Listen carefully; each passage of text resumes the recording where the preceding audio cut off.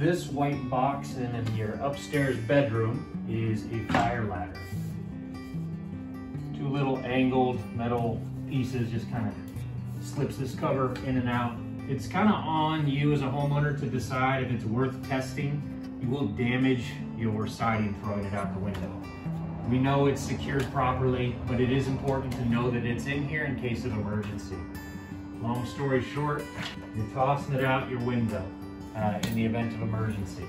Whether or not you choose to try and carefully remove this screen at that point in time is on you, um, but it is designed to go out the area that doesn't have the window pane blocking it. Um, it's really self-explanatory, you pull, you throw. And the only downside to our building design here is the garage roof. Uh, you will have about an eight foot drop off that roof. Um, so, anywho, this is your fire ladder.